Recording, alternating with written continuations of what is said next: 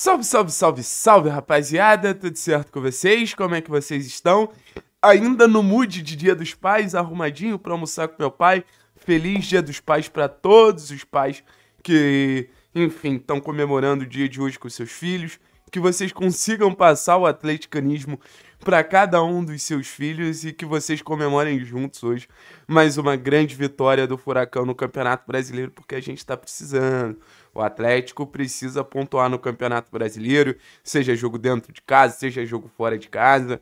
A gente quer ter um Campeonato Brasileiro tranquilo, no mínimo ali uma classificação para a Sul-Americana, que já seria muito abaixo de qualquer expectativa, mas enfim, apostar nas Copas eu acho que nesse momento é um risco, mas um risco que faz todo sentido. E pensando em apostar nas Copas, eu tenho a percepção que o Campeonato Brasileiro ele vira uma espécie de treino e não é um treino, mas é uma possibilidade de fazer alguns testes, já que você não tem tanto tempo de treino, já que o Martin Varini pegou um momento da temporada que o Atlético sai de jogo de Copa para de Campeonato Brasileiro, que vai para jogo de Copa, que vai para jogo de Campeonato Brasileiro.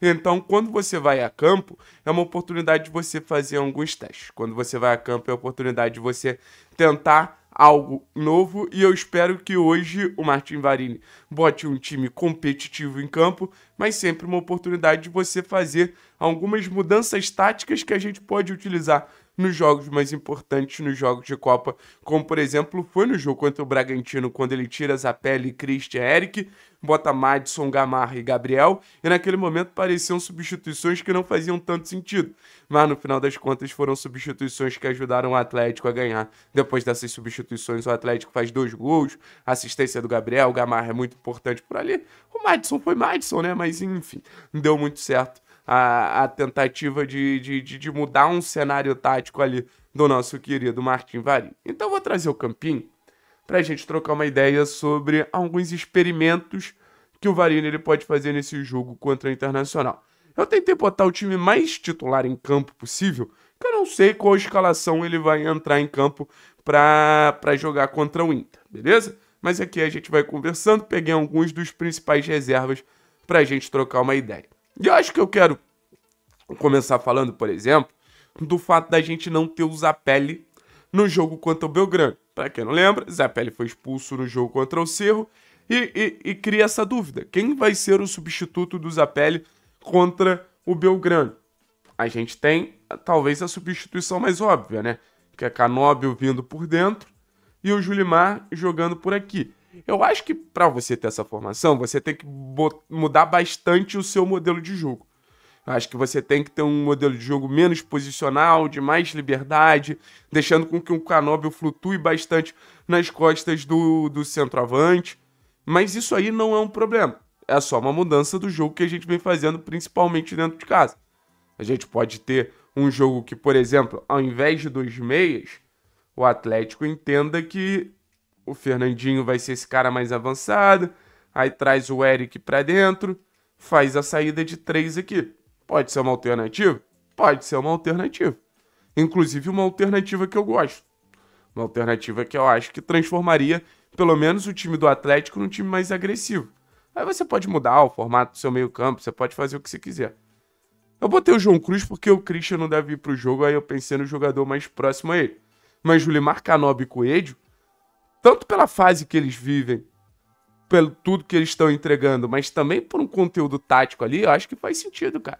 Se você for parar para pensar, o defensor do Varini tinha o Mancidia, tinha o Duarte, tinha o outro que eu confesso que eu esqueci o nome, mas era também um esquema de, de três jogadores de movimentação, três jogadores agressivos ali atrás do centroavante, sempre buscando as costas do adversário, sempre buscando essa alternativa de atacar espaço. Tem outra alternativa que eu gosto por esse lado esquerdo, que manteria o, o Canóbio nessa posição e acho que poderia ser até um pouco mais cautelosa, que é botando Fernando, adiantando Esquivel. Porque aí você consegue também pensar em marcar numa linha de 5, né?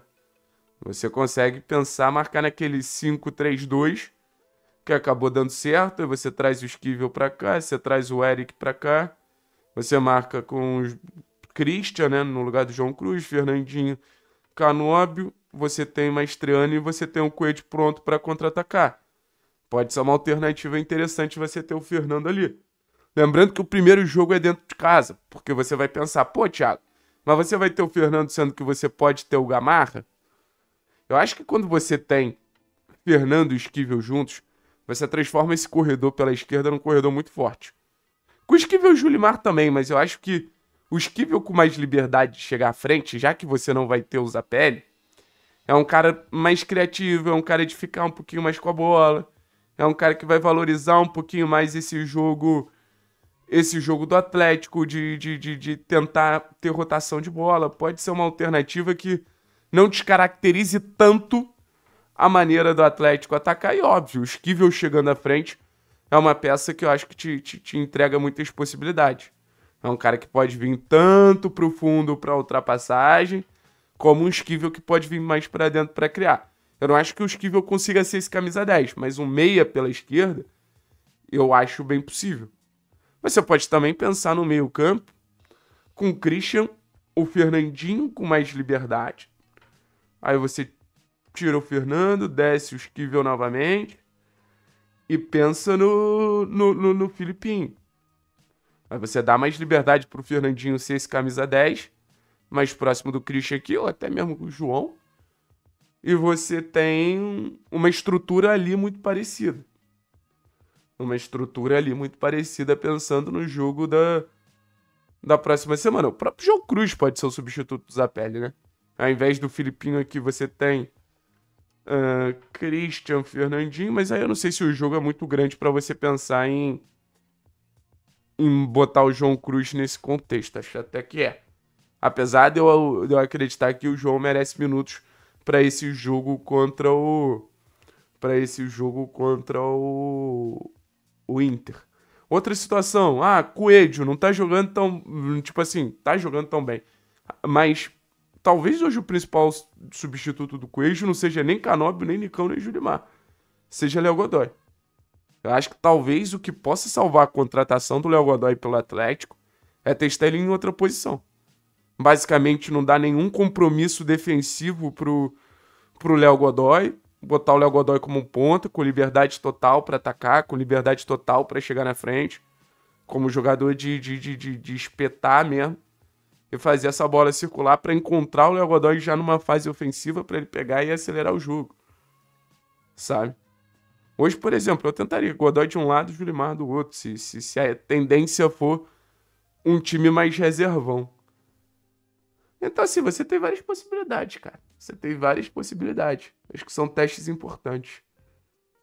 Ah, ah Thiago, o que, que você faria? Cara, eu pensaria mais.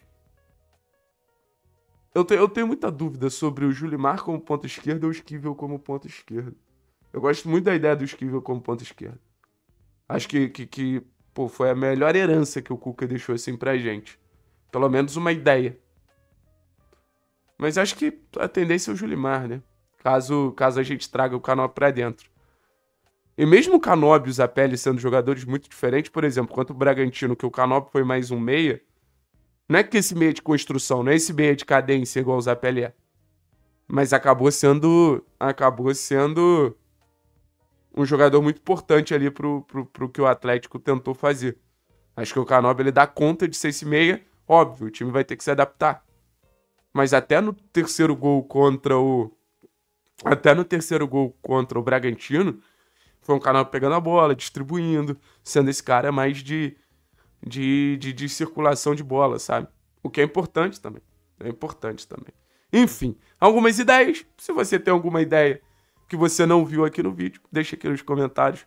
Vai almoçar com seu pai, vai dar um abraço ao seu pai. Vale a pena. Tamo junto. É nóis. E até daqui a pouco na live do jogo. Aí sim deixa o seu pai do seu ladinho no sofá e bota a live do canal 3 Pontos. Forte abraço, tamo junto. Lembrar vocês, óbvio, que a KTO é patrocinadora oficial do canal 3 Pontos.